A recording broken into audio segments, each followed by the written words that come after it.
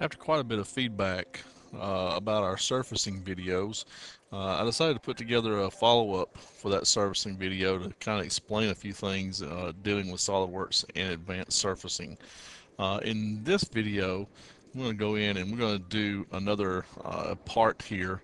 And um, questions been raised about four edges uh, in SOLIDWORKS parts or in SOLIDWORKS surfacing. So let's just take a look on the front plane now, in the past, what I've always done is used a spline when dealing with that, but some people have said, well, what happens if we need to have a little bit more control over our geometry? So in this case, I'm just going to draw a quick little sample of uh,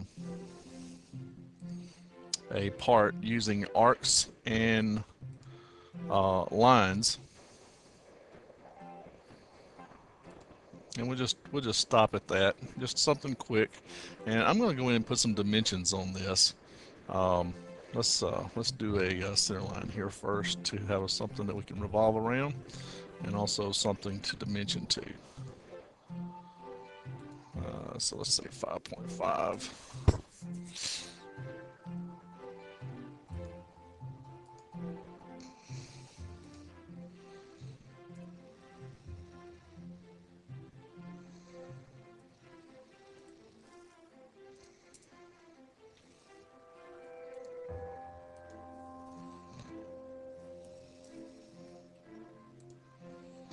put a couple of dimensions in here really quick to have something to control with.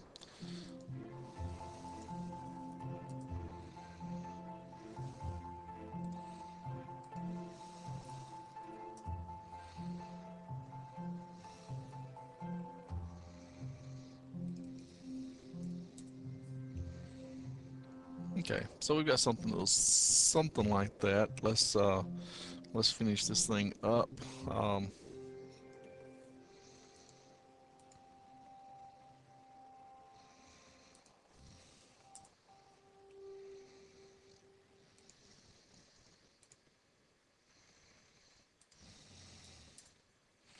so that we have a fully defined sketch.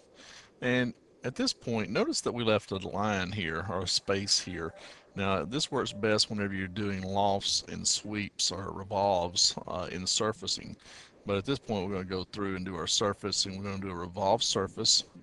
I'm just going to do it 180 degrees. And you can see there that I pretty much got our surface down pat. And at here, if we decided that we wanted to do any kind of free forming, we couldn't do that, or we could do it, but it would be a matter of uh, picking which section or which uh, area that we would do it in. For instance, if I wanted to do free forming here, I could just do it at the top. Uh, for in, and then here as well. Uh, so you see here the concept of the four edges. You've got to have the top, the bottom, the left, and the right edges in order to do free forming uh, in here. So if we decide that we don't want to do freeforming on each section like this, what can we do to go about fixing this? Well, if we go back into this sketch and edit it, um, I can go in and select this whole sketch and let's turn it into construction geometry. And I'm going to go into um, my tools and spline tools and tell it to fit the spline. Now I'm going to make sure delete geometry is unchecked and make sure close spline is unchecked. And I'm just going to select these entities that I was using to create my model with. And I'm going to click OK to accept. So what SOLIDWORKS has done is it's actually taking a uh, spline and put over the constraints or over the entities that I'd used to make the shape to begin with. I can then click OK. I now have a smooth surface there that will allow me, uh, if I decide to go into freeform, allow me to select the whole face. I can then go in and add curves to this face.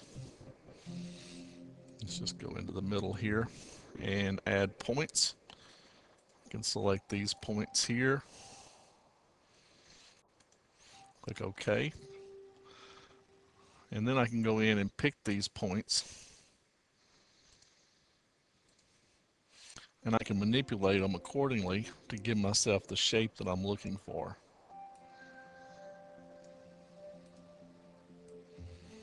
So you get more of a shape there that you're looking for. Click OK to accept.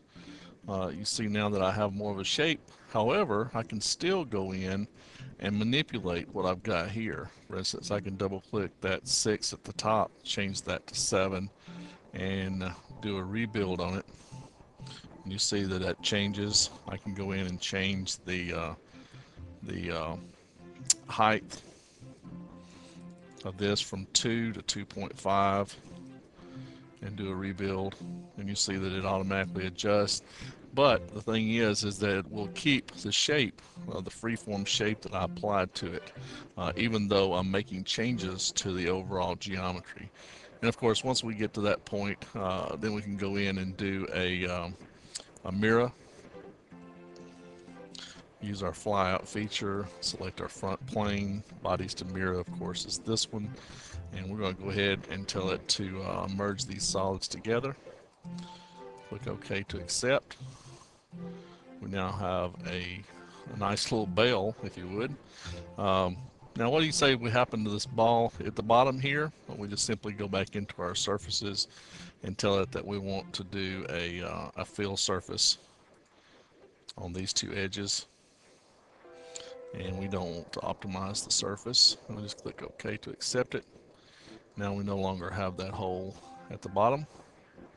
It's now filled in completely. Uh, I do have three surface bodies. I can go in and uh, actually select all three of those and go and knit those surfaces together and merge those entities. Now you see I just have one body and then we can go in and thicken this body. We're going to thicken it on the inside and uh, let's just tell it that we want it to be the opposite way and click OK to accept and then we have our thickened body there in the shape that we need it to be. Just uh, wanted to answer some of the questions that we've been getting as far as the uh, surface loft is concerned.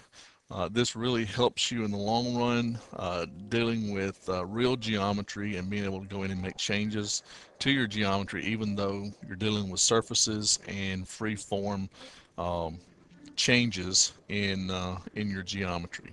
So I hope this helps, and I hope it's answered some of the questions that have arisen.